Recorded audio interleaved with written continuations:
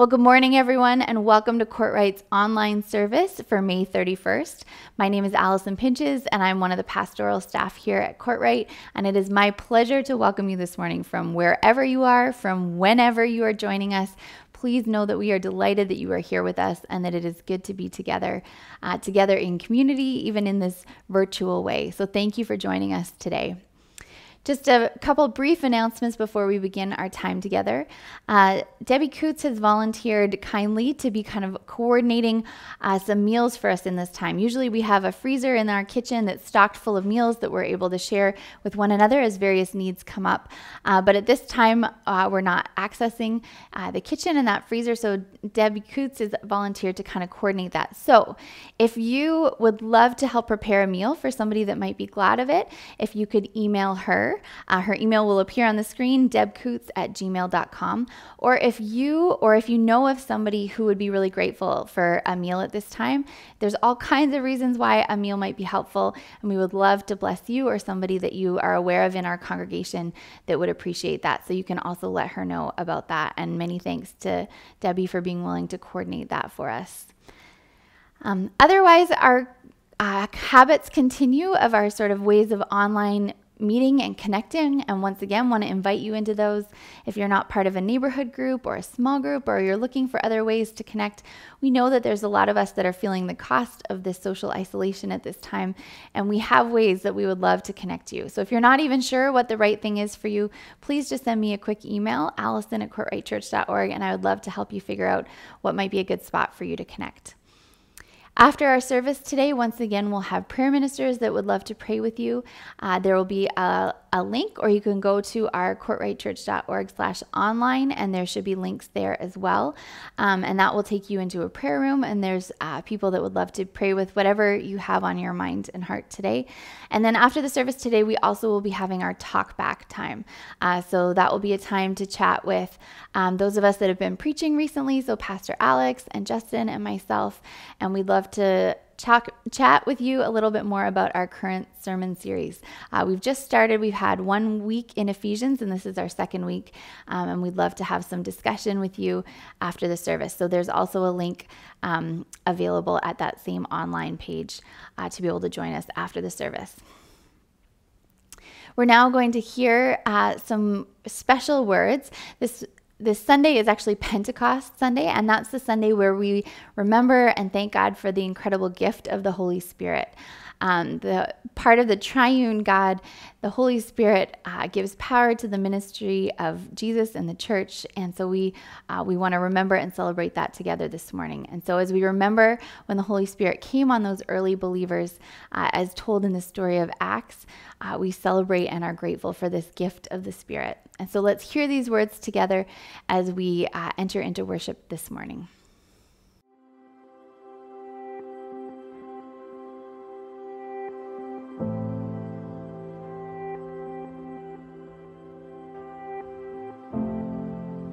五旬节到了，他们都聚集在一起。忽然有一阵好像强风吹过的响声从天而来。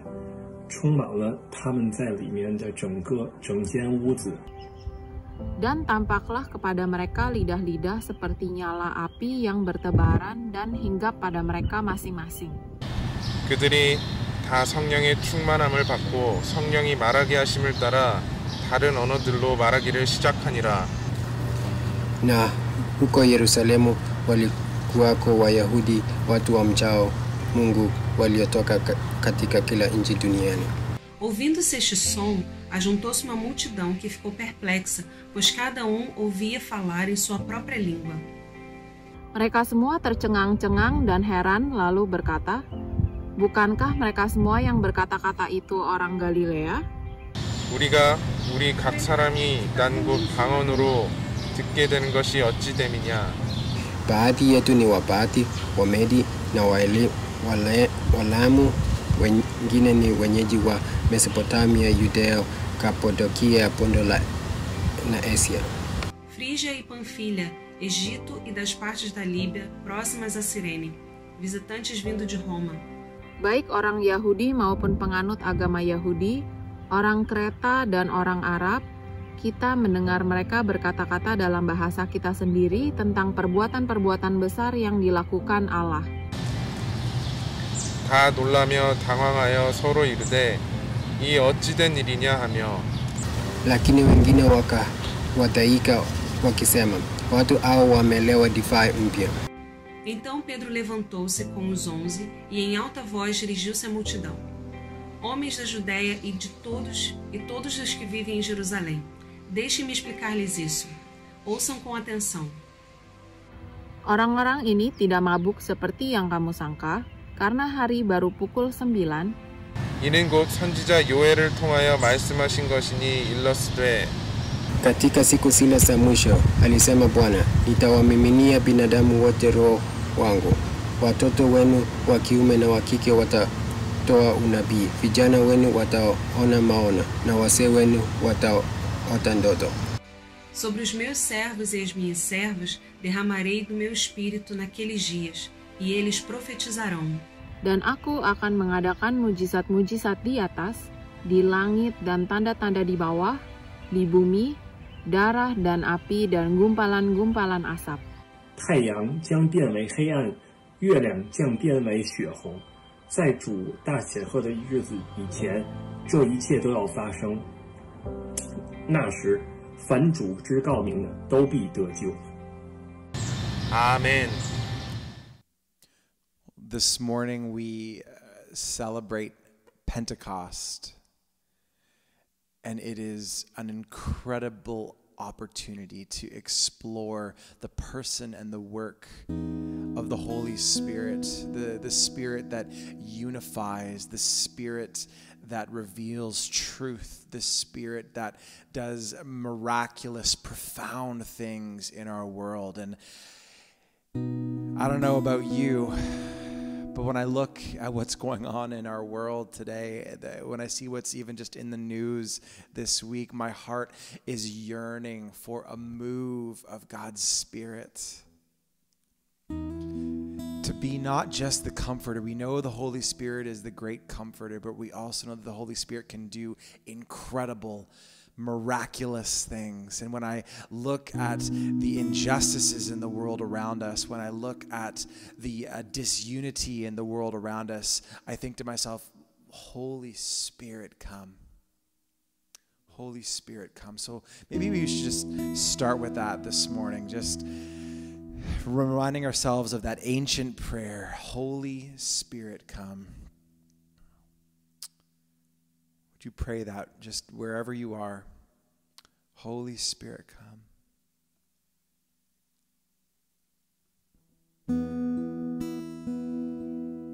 Maybe just either out loud where you are or in the comments or with the with your family or just by yourself would you just uh, ask the holy spirit to invade some part of your life that you need or that the world needs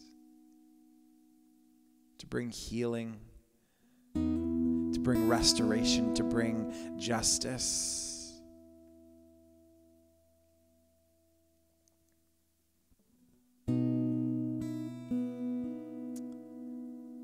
Holy Spirit, come. Holy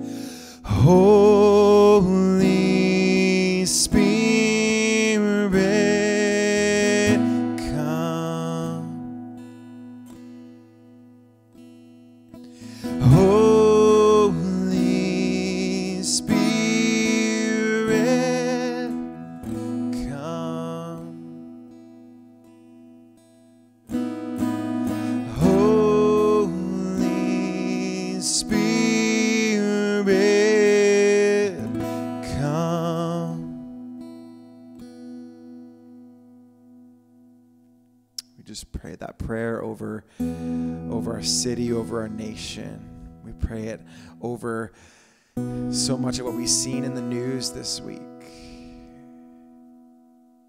We pray it over a broken world. Holy Spirit, come. Amen. let's continue to sing songs. We're going to sing a couple songs just reminding us of, of the person and the work of the Holy Spirit. Holy fount of inspiration, by whose gift the great of old spoke the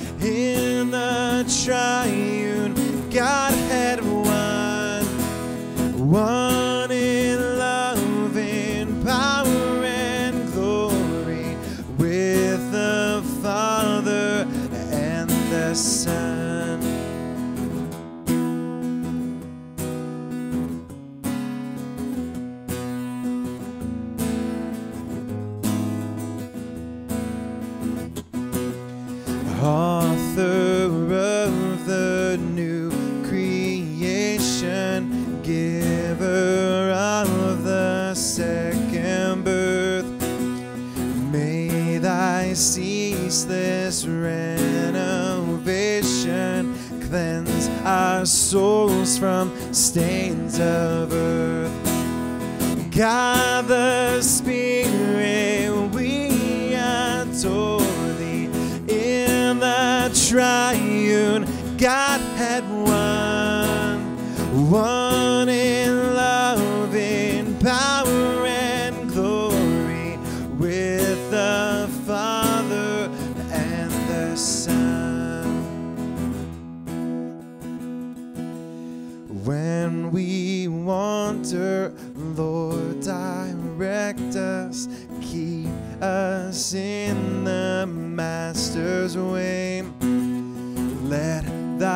strong, swift sword protect us, warring in the evil day. Shall the church now faint or fear?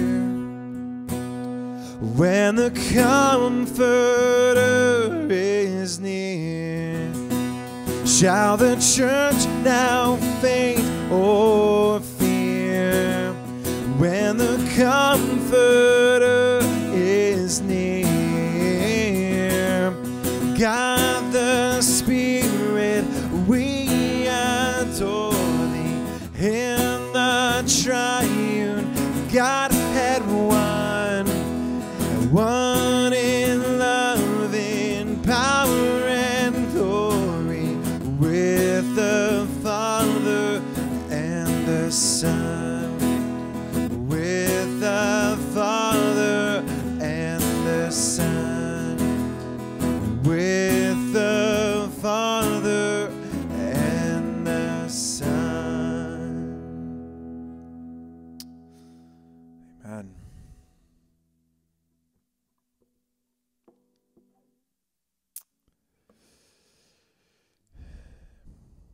also ask the Holy Spirit to be our guide, to lead us when we don't know where we're to go. Holy Spirit, guide my vision. Help me see the way you see. Always Jesus, ever Jesus Christ, in all as Christ in me.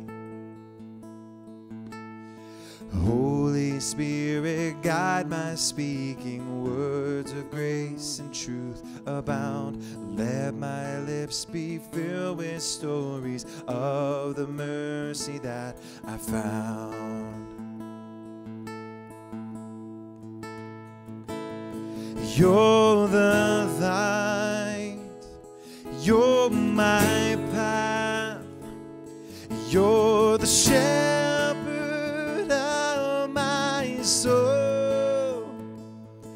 All I am, all I have, Holy Spirit, lead me on.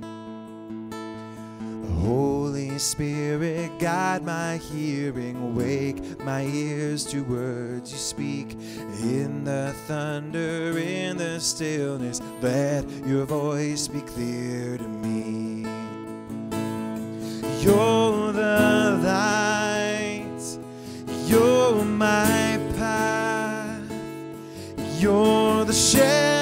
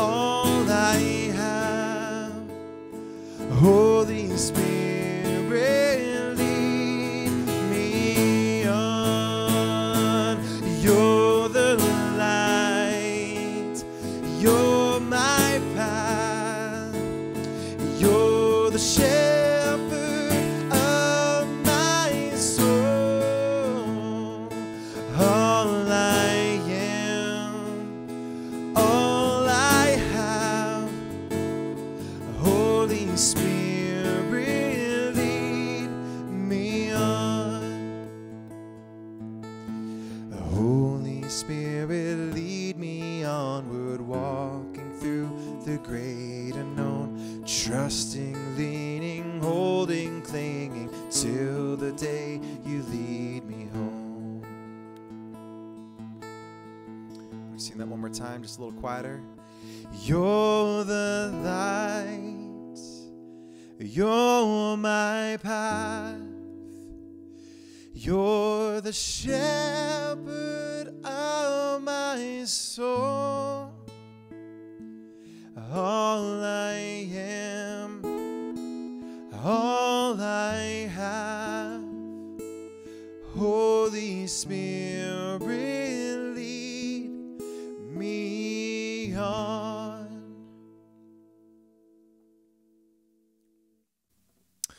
Holy Spirit, that is our prayer that you would lead us into the unknown, lead us into where you would have us. May we just be in the center of your will.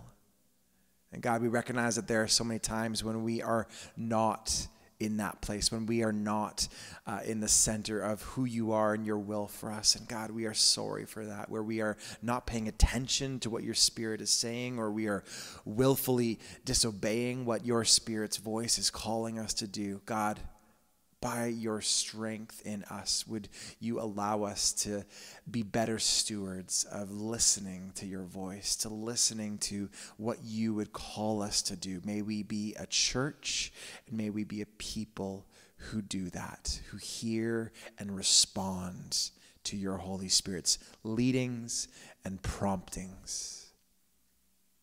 We pray this in your name. Amen.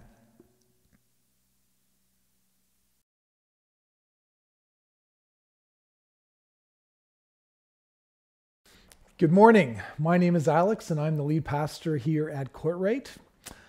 I want to welcome you to our online service today, whether you're watching live or streaming it later in the day or later in the week. We're glad you're joining us. Last week, we started the new sermon series in the New Testament book we call Ephesians. We also ordained new elders as part of the service. And one of those elders, Barb Ferrier, uh, used two images to describe what she believes God is doing in the church right now. And I found them quite inspiring. And I think actually they help us as we embark on this journey through Ephesians.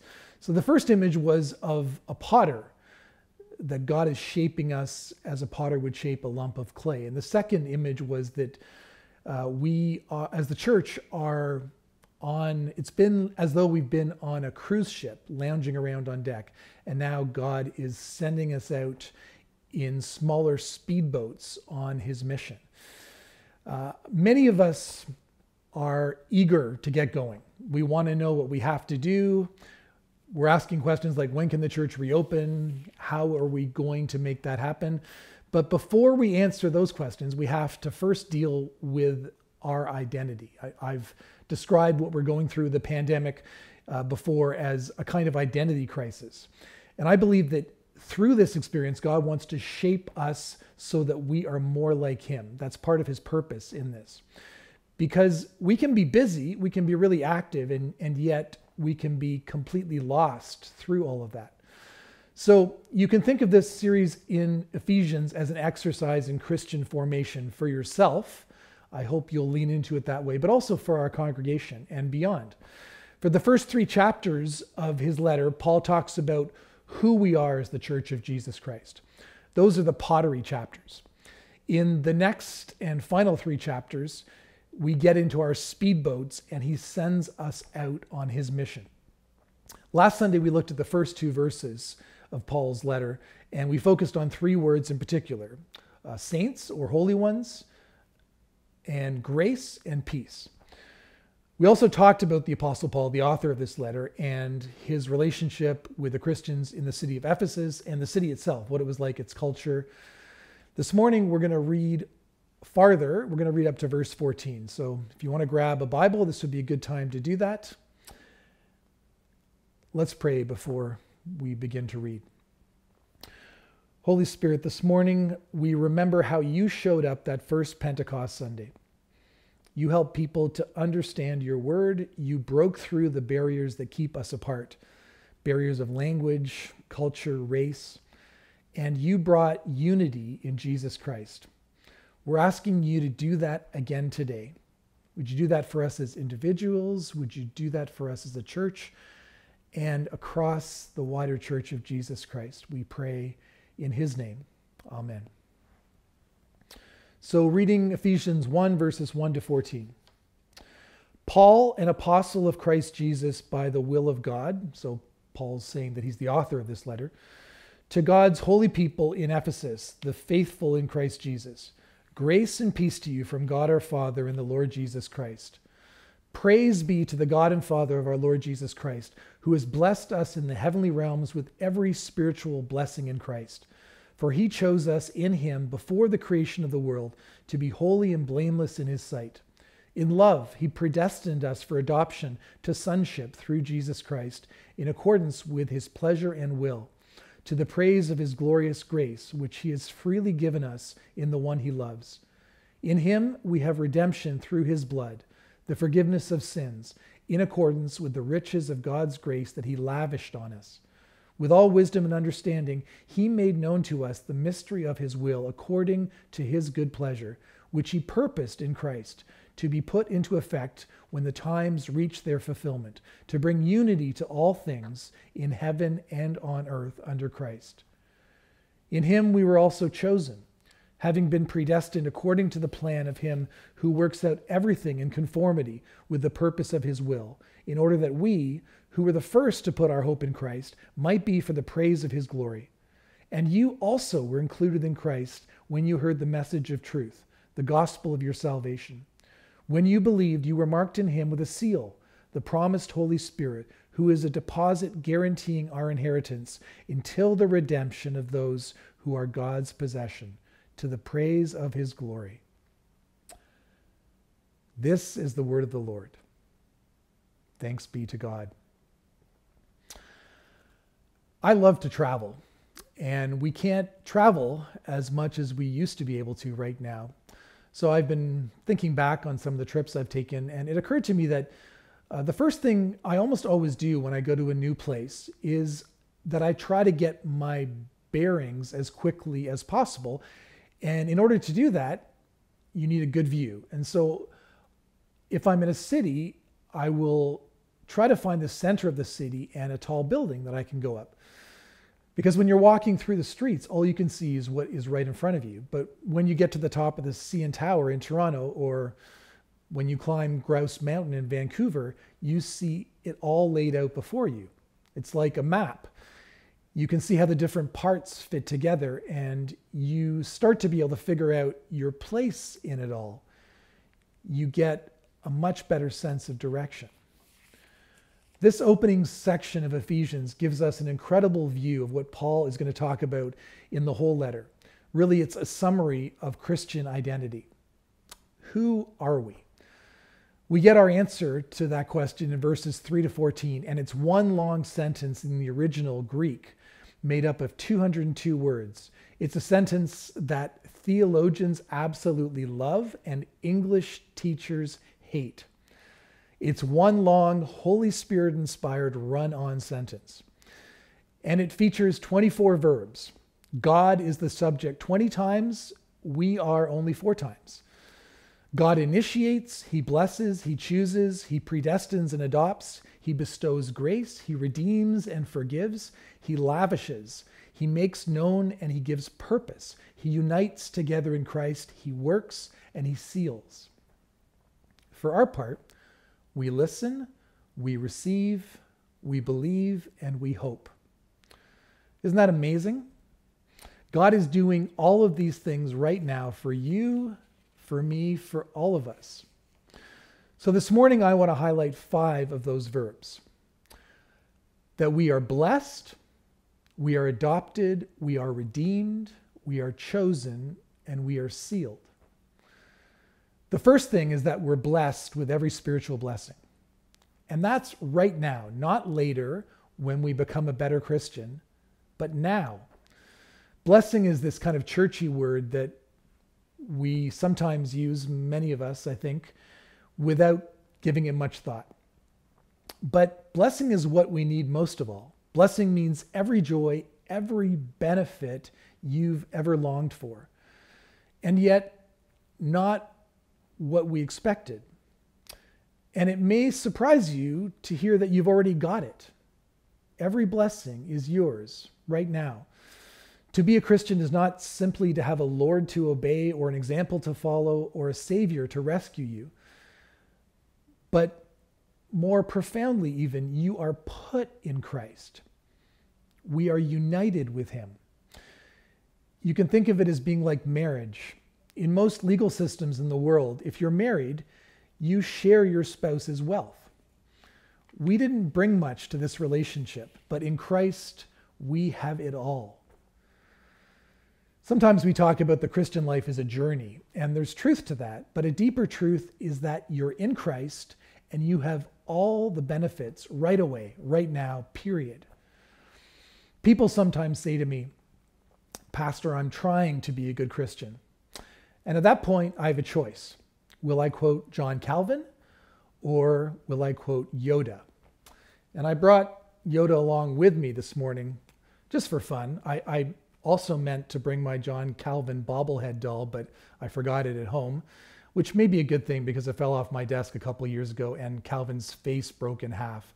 So his mouth is missing. Um, but we have his books. So, so Calvinists out there everywhere, forgive me. This morning we're going with Yoda. In The Empire Strikes Back, and if you're a Star Wars fan, you will certainly be familiar with that film, the best of the bunch, in my view, anyway. In that movie, when Luke Skywalker goes to the Dagobah system to learn how to be a Jedi uh, under the tutelage of Yoda, this same Yoda. And by the way, this is a very small Yoda, but it's not baby Yoda. Uh, this is you can you can tell because he's kind of balding. This is this is adult Yoda. This is mature, wise Yoda. Uh, but baby Yoda is very cute. I think we can all agree on that.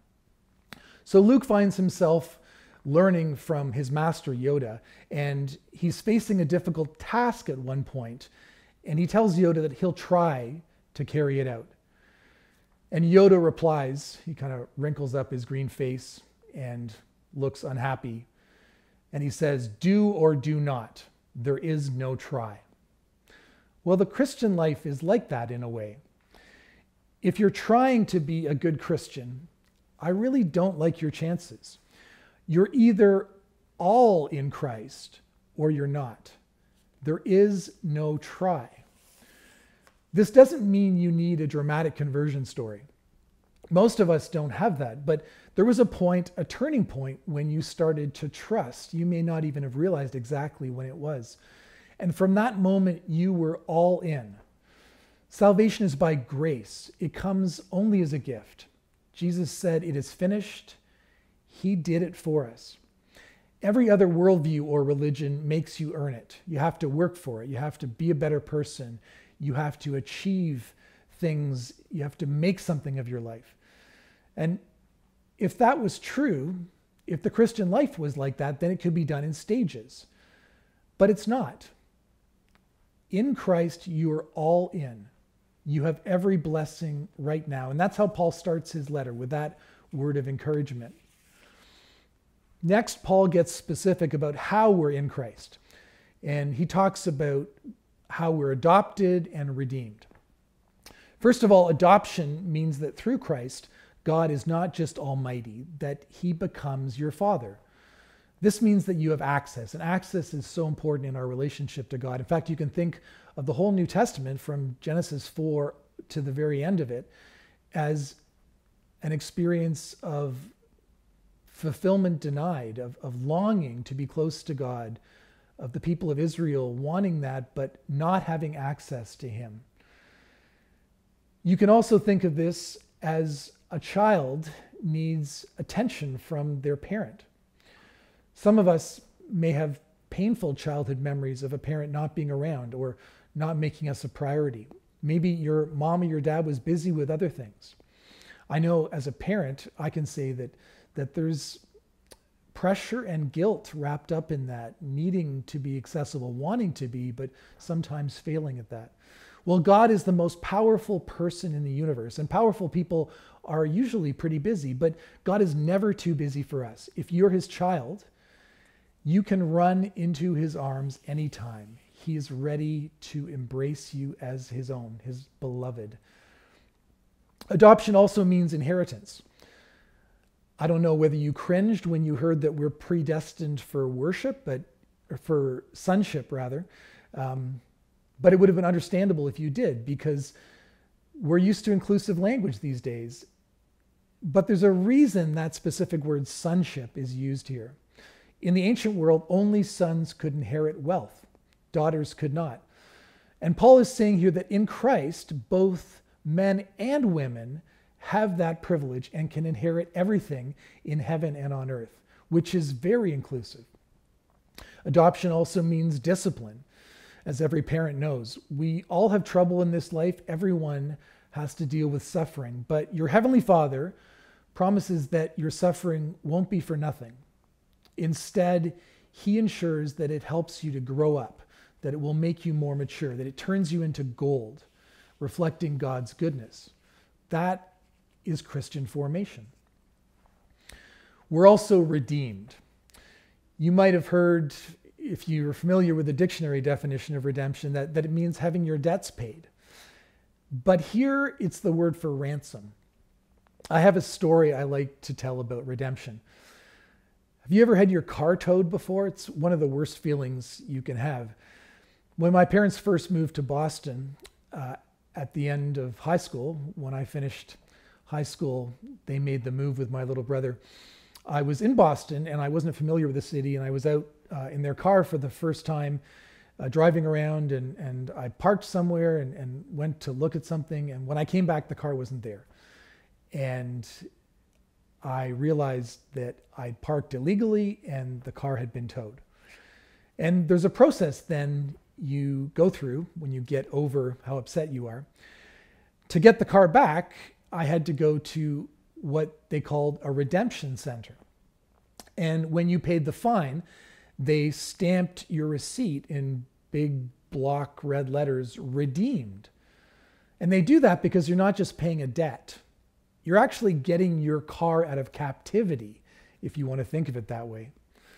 To be redeemed is more than having your debts paid, it's a release from slavery.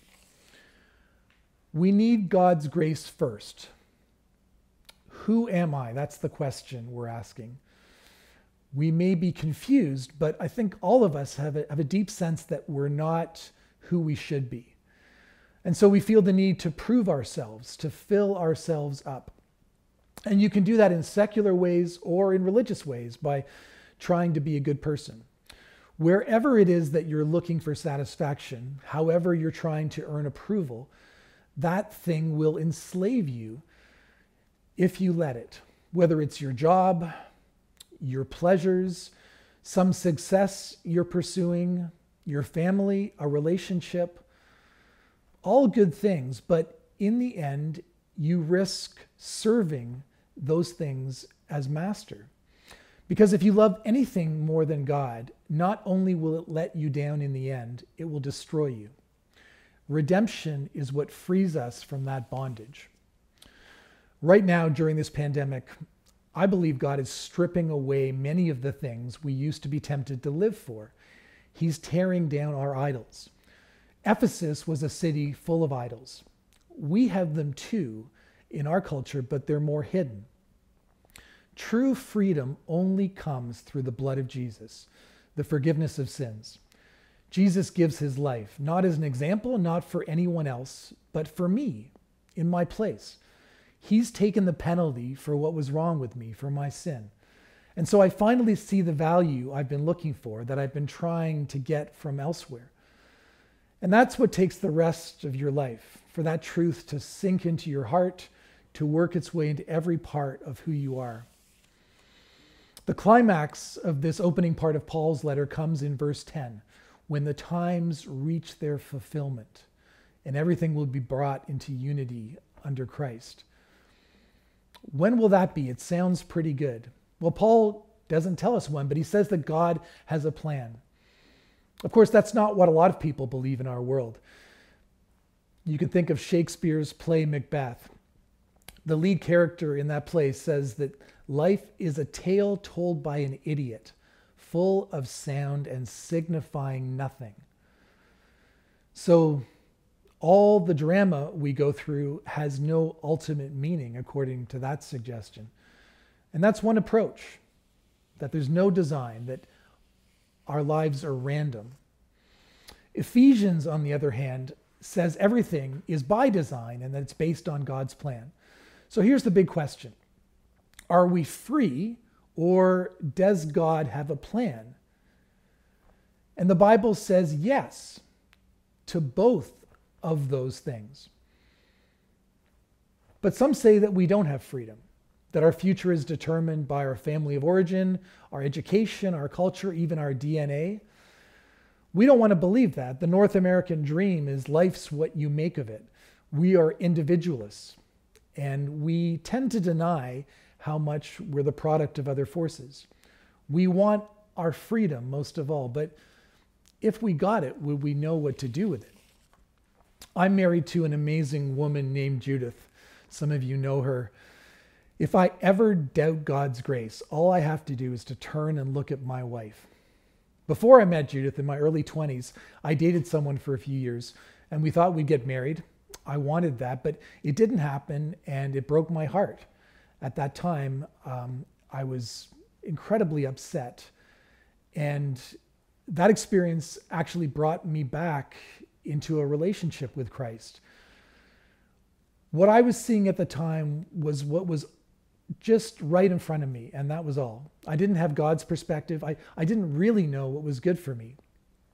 You can look back on your life uh, at a certain point, you look back and you realize that it was a huge mercy that you weren't able to choose for yourself how things would go. There's grace and peace and hope in God's plan. So there are two views that are prevalent here. First, that life is all predetermined, that you have no real choice in the matter, and that is something that can take away your hope. You might feel helpless. The other view says that your future is up to you, and that is a heavy weight to bear. In the end, no one can live up to that. What God says is that your choices matter. There are consequences and He holds you responsible. But at the same time, God offers us, God brings all of our free choices together in His will so that everything works out in a perfect plan. God is in control, and yes, you are free to choose. This is really important, not just because we want to have good doctrine, uh, because theology matters, but also because it's personal and it affects how we experience the Christian life. It's all about the grace and the peace that God means for us to receive from the Holy Spirit.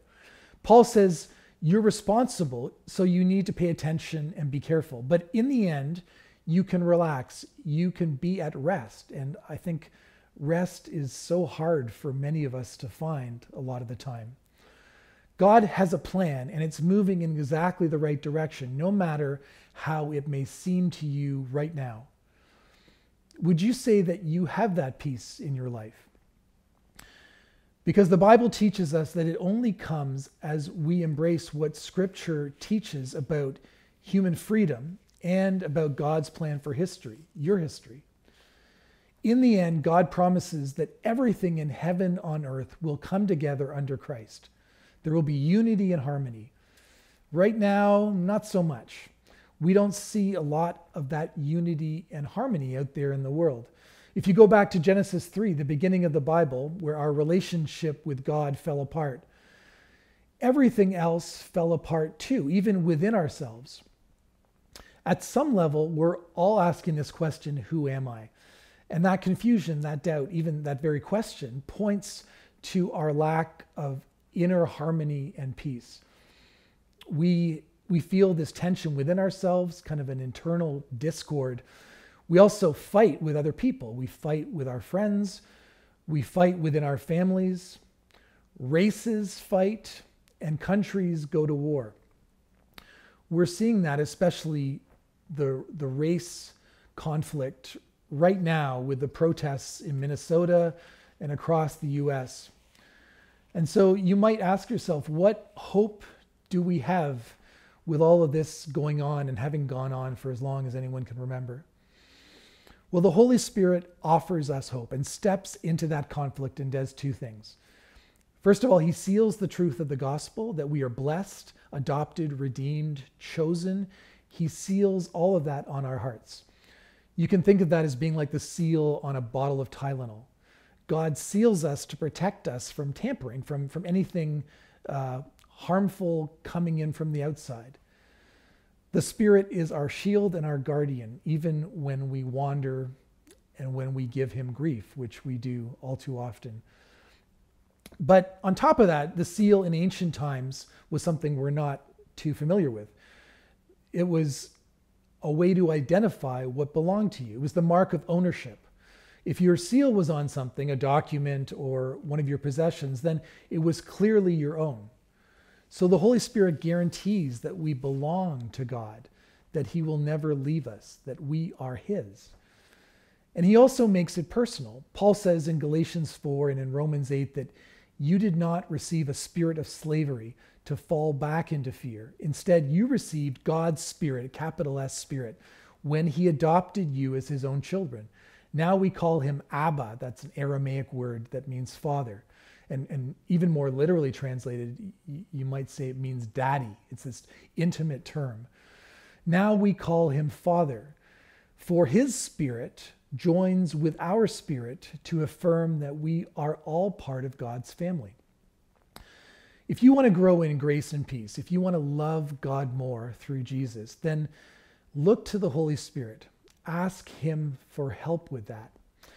Maybe you're someone who has never felt an emotional engagement with God, with Jesus. The Holy Spirit wants to rush to your side and lead you on that path. The Holy Spirit fills our hearts, motivates us, moves us, turns us to God in a way that's, that's not just head knowledge, it's not just an, intellectual engagement, but it's, it's a love, it's uh, a profound sense of breathing with the Spirit, of being close to the Spirit. He's the one who enables us to trust who makes it real and personal and close, like the best relationship you could ever imagine between a parent and a child. And we're all in this together as well. We're adopted into a family, the church. That's the meaning of Pentecost. In Christ, we are becoming the church across every barrier. With everything going on in the States right now, racism is on our minds. It's here in Canada too. Let's not pretend otherwise. We hurt each other and we keep on doing that. Those with power and privilege do it. Those who don't have power and privilege do it. Sometimes we do it actively, other times we're not aware of it. When will justice and violence end? That's one of the questions I think we ask throughout our lives. Well, Ephesians tells us that God sends his Holy Spirit as a deposit on that ending. He promises to heal and restore everything and that it will be completely fulfilled in Christ. But that will not come based on our best efforts. It never has, it never will. Remember Yoda in this. I'll reach down and grab him uh, for a little moment with Yoda here. Yoda said, There is no try. So we've kind of co opted that and recognized that we can't do this on our own. And, and that is the very beginning of Christian faith. That all of this is only possible through the blood of Jesus, thanks to his sacrifice. If you think about it, blood is a sign of things falling apart, tearing apart. Yesterday, I dropped something on my leg and it, it bled. And the reason there was blood is that the skin broke, the skin tore apart. Jesus bled. He was torn apart for you and for me. And that happened so that everything and everyone could come together in true peace. In Christ, you who were once far away have been brought near to God and into his family only by his blood. That's a love that changes the world. And God is pouring that kind of love into us together as his church. As we go through this book of Ephesians, we're going to see how that plays out in our friendships and families, in our church, in our society. And my prayer for you and for all of us is that you will know who you are in Christ, together with his saints, holy and faithful, set apart for his purposes. That you will know that God has chosen you and blessed you with every blessing, and that he's adopted you into his family, the church. That he's redeemed you from every burden, freed you from your guilt and regret, so that you are truly free in Jesus Christ and that at the cross you are made new. You are his new creation, filled with the hope of the resurrection, sealed on your heart and your mind by the Holy Spirit, and that he is bringing you in all things to fulfillment according to his good, good purposes in his time, based on the plan, the perfect plan that he has for you and for me. May you rest in that knowledge, that confidence of who you are in Jesus. Grace and peace to you. Amen. This morning, we have been reminded of the incredible truths of how we are in Christ and the story of our being in Christ. And so uh, we're going to sing this song, Yet Not I, but Through Christ in Me, which is just a, a beautiful reminder and summation of these realities.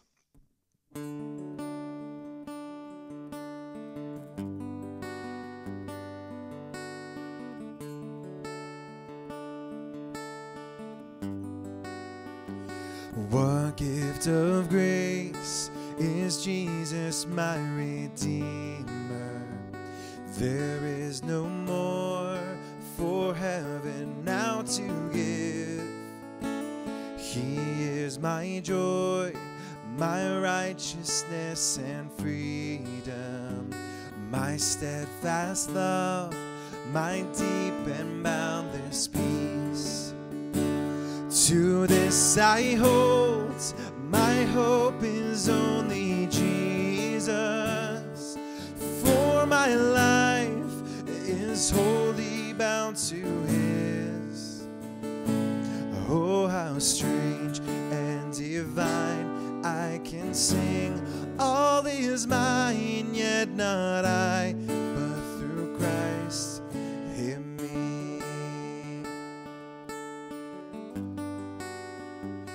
The night is dark, but I am not forsaken. For by my side, the Savior, He will stay.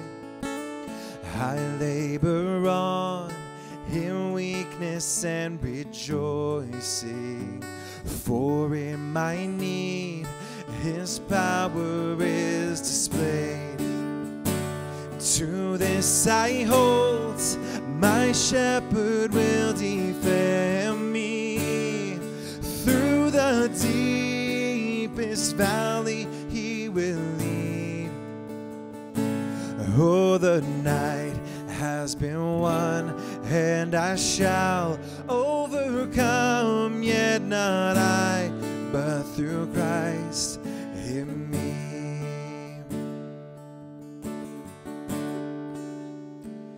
No fate I dread, I know I am forgiven. The future sure, the price it has been paid. For Jesus bled and suffered for my pardon, and he was raised to overthrow the grave. To this I hold, my sin has been defeated. Jesus, now and ever is my plea. Oh, the chains are released. I can sing. I am free, and not I, but through Christ me. With every breath, I long to follow Jesus, for he has said that he will bring me home. And day by day, I know he will renew me until I stand with joy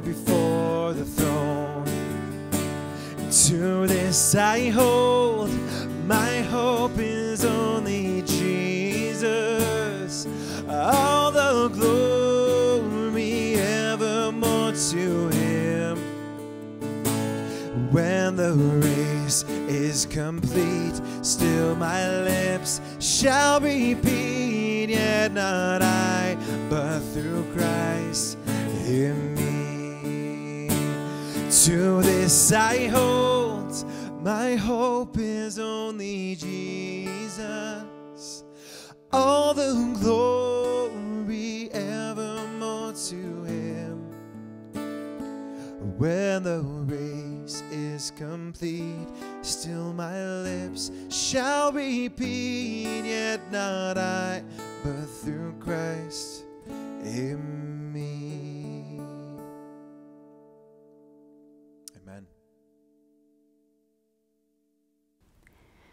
Would you join with me now in prayer? Father God, Son, and Holy Spirit, we thank you and praise you again for who you are. And in particular, this morning, we thank you for the gift of your Spirit. We pray that you would help us to know uh, the life and the peace and the fruit that you offer to us in your Spirit. And we give you thanks and praise. But God, as we are together this morning, uh, my heart and many of our hearts are heavy today with many things in this world uh, come to light in this last week that are not uh, of you. They are far from you and far from the peace of your kingdom. And so, as we enter into prayer today, we remember our profound need for you. You alone are Lord of all. You alone can change the brokenness that seeps into every layer of our world. Lord, have mercy. God, we think of the ways that we overlook one another's humanity and our inherent worth as your creation. And we think of the death this past week of George Floyd in the US and the pain that is being expressed in the protests. Lord, have mercy. We join with your people in crying out for justice and for peace. And Lord, as Canadians, we love to think how much better we are when it comes to racial issues than our neighbors to the south. And would you open our eyes to see the ways that in our own country and communities, all people are not equal? Would you sustain our brothers and sisters of ethnic minorities who, for whom every day life carries different challenges? And would you help those of us of majority culture to better understand the privilege that we carry? Would you grow relationships between each of us? Would you grow relationships with um, between us with those that look different from us? For it's only in relationship with one another that we learn to love and understand better the place of one another. God, would you infuse relationships? Would you bring them about and infuse them with your grace and with your profound love? God, in a week where we have heard about the abysmal conditions of living in care for our elders, we ask for your mercy. Would you draw us to our collective knees and in your kindness lead us to repentance for the ways that we have overlooked our elders, for the ways we have not cared, and for any ways that we have been part of a system that has undervalued the life of our seniors? Give us eyes to see all of your people in your light. Would you move in mighty ways right now at a time when um, people that have a particular power, our governments, companies, organizations, the public, are more aware of the crevices and dysfunction in this system? And would you bring about drastic, brave, altruistic, and lasting change? Would you place in our society a new heart, one that honors our elders with appreciation and respect? God, we pray for an end to the outbreaks in the long term care homes. We pray for new ways of operating to be forged. We pray for sustaining power for the personal support workers, nurses, doctors, and administrators who are involved in the active care for our seniors. And in particular, this morning, we pray for the people who are part of our own congregation, including Veronica Carter, Margaret Cohen, and Dominic Prosser. And we also remember the many who are loved by members of our congregation, including our mothers, fathers, aunts, and uncles, and grandparents. In particular, Lord, we thank you today for Ann Brewster. We thank you for her love for you and your word. Would you allow your presence to be known deeply by her and her family at this time? God, we also want to pray and think of Frank Pollerai, who spent time in the hospital this last week with issues related to his heart. Lord, would you continue to provide excellent and timely medical care in this challenging time? And would you please fill Joan and Frank with your presence and your peace? God, we remember today another partner of ours in mission in the Ukraine. A long civil war has left Ukraine in ruins and unable to mitigate a COVID 19 outbreak and its economic fallout. Would you please be with and guide Ed Dixon, who's working there with loads of love, working to bring relief to orphans and families in need. And again, we pray, Lord, have mercy. And God, even in a season of heaviness, we have much to be thankful for. And we thank you for the provision of Canada Summer Student Grants for our church and our onside sports partner.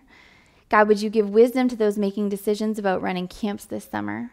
And we thank you for the provision of funds to be able to hire students for the summer. God, we thank you again for the beautiful provision of new elders for our session team. Would you be with our session as it meets for the first time on Tuesday of this coming week in this new configuration? Would you give them much wisdom and discernment as they consider how to lead us well in these uncertain times? And God, as we think of this uh, new session team, we want to particularly give you our thanks and praise for Les Ferrier and Joan Knox. They both have served faithfully uh, for years in this capacity as leaders, part of our, as elders, and part of our session team. God, we thank you for all that they have poured out. And God, I pray that in this season of them stepping back from uh, these visible leadership roles, would you pour back into them for all of the ways that they have loved and served you so faithfully? I pray that you would refresh them, you would replenish them, and that you would speak your words of truth and love over them at this time. And we just give you great thanks and praise for who they are, for all that they have offered of themselves, and for their faithfulness to you. God, in all things, we remember that our hope is in you. And even as things feel um, heavy and hard to bear this week, we remember, Lord, and look to the day where you will, as Revelation tells us, wipe every tear from our eyes. There will be no more death, or mourning, or crying, or pain, for the old order of things will have passed away. And even as we look forward to that day uh, when we experience that in all of your fullness, we know that you and your kingdom are breaking in right now, and that there is evidence of that new order, of that new way of doing things all around us. God, would you give us eyes to see?